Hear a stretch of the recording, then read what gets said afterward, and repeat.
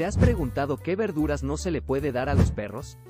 No te preocupes, en este video de Mundo Peludo, descubrirás 5 verduras dañinas para tu mascota y que debes evitar. Comencemos. ¿Sabías que la remolacha puede contener niveles de ácido oxálico, que pueden ser perjudiciales para tu peludo? El ácido oxálico produce unas sales llamadas oxalatos, y el oxalato de calcio, en particular, puede ser especialmente dañino para los riñones de tu mascota. Cuando tu peludo consume este colorido vegetal, parte de estos oxalatos se absorben en su torrente sanguíneo y pueden depositarse en los riñones, causando daño y aumentando el riesgo de desarrollar cálculos urinarios. La cebolla, un ingrediente común en muchas cocinas, es uno de esos alimentos que debemos mantener fuera del alcance de nuestros peludos. Ofrecer cebolla a tu perro de forma diaria o excesiva en una sola toma puede suponer un problema grave, ya que contiene tiosulfato, una sustancia química que contiene azufre y oxígeno en su estructura molecular. Estas sustancias pueden causar daño a los glóbulos rojos de los perros, incluso destruirlos, creando un alto riesgo de anemia. Los glóbulos rojos son responsables de transportar oxígeno en el cuerpo, y si se dañan, puede haber una disminución en la capacidad de tu perro para transportar oxígeno, lo que puede ser peligroso y potencialmente mortal. Ya sea cruda, cocida o cocinada, la cebolla es una de las verduras prohibidas para perros, así que es mejor no ofrecérsela.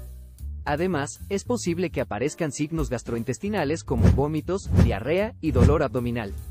En los casos más graves, se puede observar mucosas amarillentas y fallo renal, pudiéndose producir incluso la muerte del animal si no se trata a tiempo. Es importante destacar que la intoxicación por cebolla casi nunca se manifiesta de forma inmediata, sino que los síntomas suelen tardar en aparecer entre 1 a 5 días. Por ello, en algunos casos, puede ser complicado relacionar los síntomas de la intoxicación con el consumo de cebolla. El ajo es otra de las verduras tóxicas para los perros por los mismos motivos que la cebolla. Esta verdura también contiene tiosulfatos, por lo que su nivel de toxicidad sigue siendo importante. Tanto es así, que una pequeña cantidad de ajo fresco, tan solo 5 miligramos de ajo por kilogramo de peso corporal, es suficiente para desencadenar un cuadro de intoxicación en tu peludo. Asimismo, el efecto depende de la dosis, cuanto mayor es la cantidad de ajo ingerida, mayor es la gravedad de la intoxicación. Al igual que ocurre con la cebolla, la intoxicación por ajo no suele manifestarse de forma inmediata ni en las primeras horas post-ingesta, sino que los primeros signos clínicos suelen tardar en aparecer entre 1 y 5 días. También es posible que aparezcan signos gastrointestinales como vómito, diarrea y dolor abdominal. Los perros no deberían comer puerro por el potencial tóxico que tiene para esta especie. El puerro es una hortaliza que pertenece a la familia Amaryllidaceae, a la que también pertenecen la cebolla, el cebollín y el ajo, plantas igualmente tóxicas para nuestros perros. El potencial tóxico que tiene el puerro para nuestros perros es su contenido en alcaloides disulfuro, que se dirigen a atacar a los eritrocitos o glóbulos rojos de los peludos. Y al reducir la cantidad de glóbulos rojos de la sangre, se desarrolla la anemia hemolítica. Por los tallos duros y fibrosos que tienen los espárragos, estamos ante una de las verduras poco recomendables para tu peludito.